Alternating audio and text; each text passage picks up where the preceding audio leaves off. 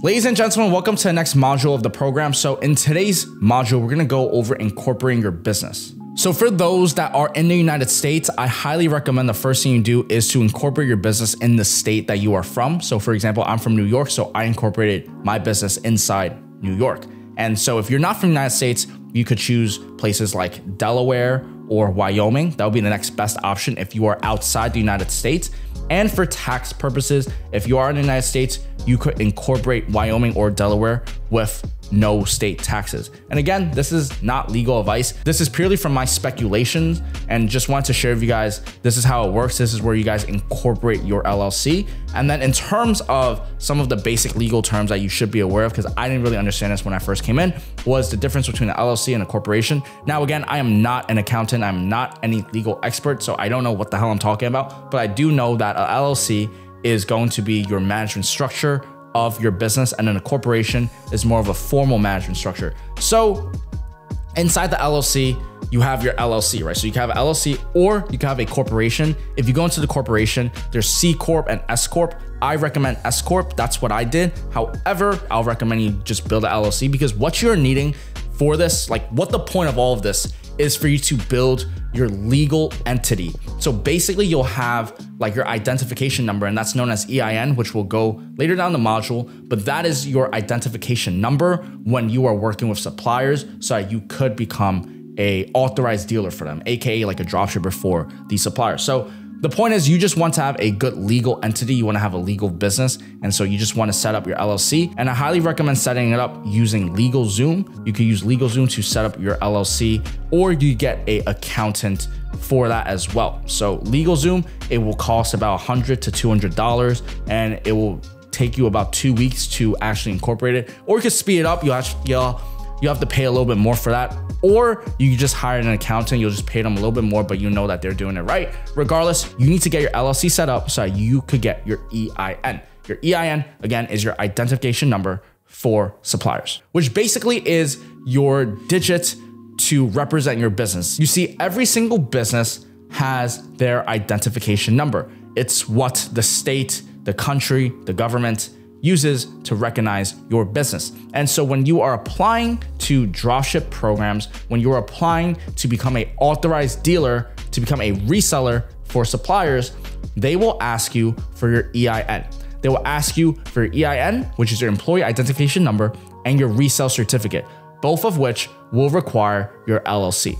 So that is why we set up the LLC in the first place so that you could get your EIN. And once you have that, you are pretty much ready to get started. Because from that point forward, you just have to network and find suppliers to work with. You're gonna put their products onto your website. You're gonna run the ads the way we tell you to, and then you're gonna go and kill it. So point is, get your EIN. That's probably the most important thing. And make sure you do this with speed. Like I said in the past, and you just incorporate your business, get your EIN. This should take no longer than two weeks. If you get an accountant, if you want to speed rush it, you can probably get it in less than one week. And so once you have that, you are ready to go with finding suppliers. Ladies and gentlemen, welcome to the next module of the program. So today's module, we're gonna go and talk about the resale certificate. So just like I said in the previous module, what an EIN is, your resale certificate is required to submit to suppliers or else they may or may not let you resell their products.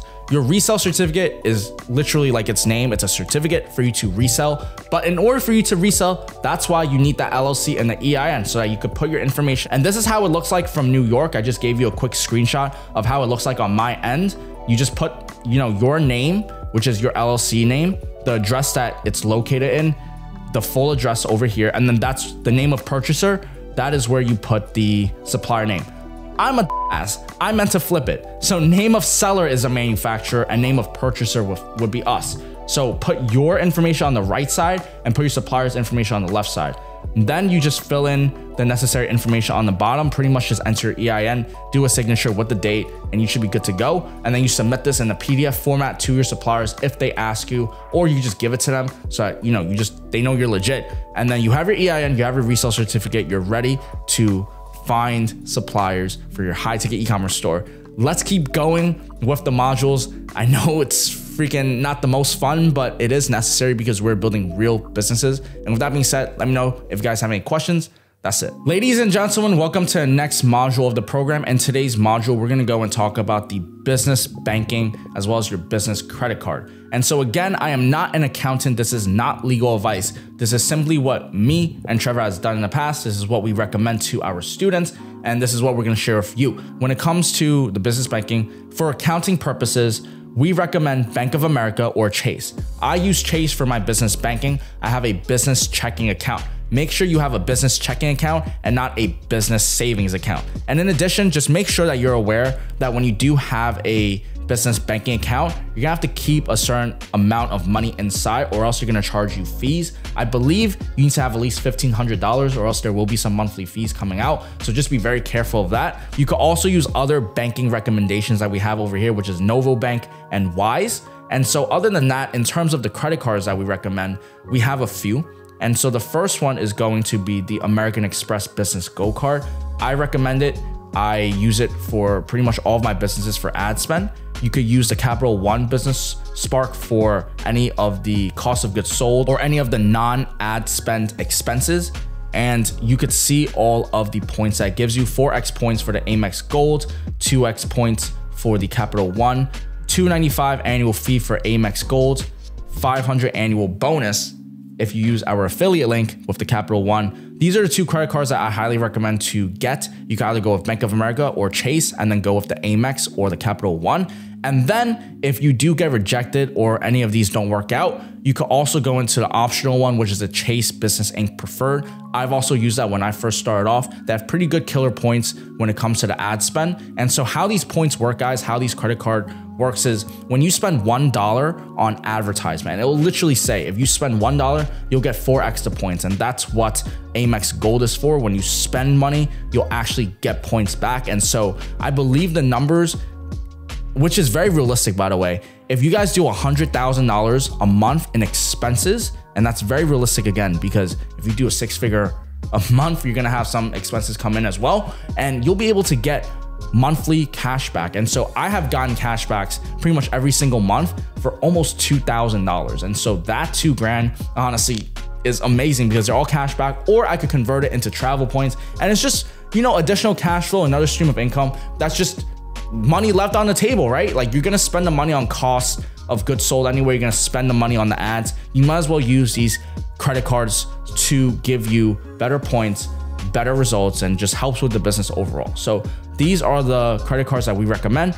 Again, Capital One Business Spark, Chase Business Ink, and the American Express Gold or Plum.